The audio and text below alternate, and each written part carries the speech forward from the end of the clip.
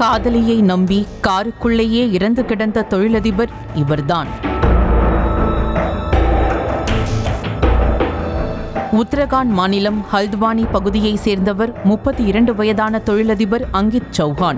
சில நாட்களுக்கு முன்பு டீன் பனி ரயில்வே கிராசிங் அருகில் கார் ஒன்று தனியாக இருப்பதாகவும் அதில் யாரோ ஒருவர் இறந்து கிடப்பதாகவும் போலீசாருக்கு தகவல் வர விரைந்து வந்த போலீசார் காரை சோதனை செய்தனர். அப்போது காரில் இறந்து கிடந்தது தொழிலதிபர் அங்கித் சௌஹான் என்பதை கண்டுபிடித்த போலீசார். பூட்டிய காருக்குள் ஏசியிலிருந்து வெளியேறிய கார்பன் மோனாக்சைடால் மூச்சு திணறி இருந்திருக்கலாம் என்றும் சந்தேகித்தனர்.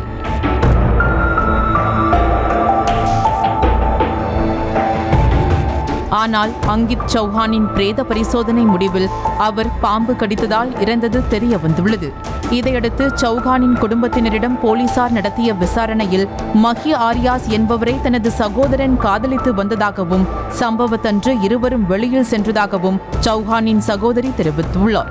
இதையடுத்து காதலி மஹி ஆரியாஸின் செல்போனை ஆய்வு செய்ததில் அவர் தினமும் உத்தரப்பிரதேசத்தை சேர்ந்த பாம்பாட்டியுடன் பேசி வந்தது தெரிய வந்தது. இதனையடுத்து பாம்பாட்டியை பிடித்து விசாரித்ததில் பல திடுக்கிடும் தகவல்கள் வெளிவந்தன.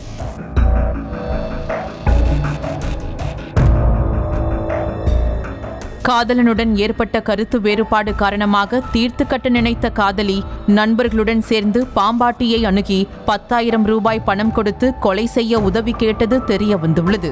சம்பவத்தன்று காரில் மகியின் வீட்டிற்கு வந்த அங்கித் சௌஹானுக்கு மதுவை ஊற்றி கொடுத்து முழு போதையாக்கிய காதலி மயக்கத்தில் இருந்தபோது பாம்பை விட்டு கடிக்க விட்டு கொலை செய்ததோடு சடலத்தை காரில் ஏற்றி ரயில்வே கிராசிங் அருகே விட்டுவிட்டு சென்றதும் தெரிய வந்துள்ளது.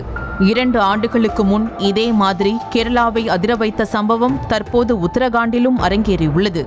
கேரளாவில் மனைவியை பாம்பை விட்டு கடிக்கவிட்டு கொலை செய்த வங்கி ஊழியர் சூரஜ்குமாருக்கு இரட்டை ஆயுள் தண்டனை விதிக்கப்பட்ட நிலையில் தற்போது பக்காவாக பிளான் போட்டு காதலனை கொலை செய்துவிட்டு தப்பியோடிய காதலியை போலீசார் தேடி வருகின்றனர்.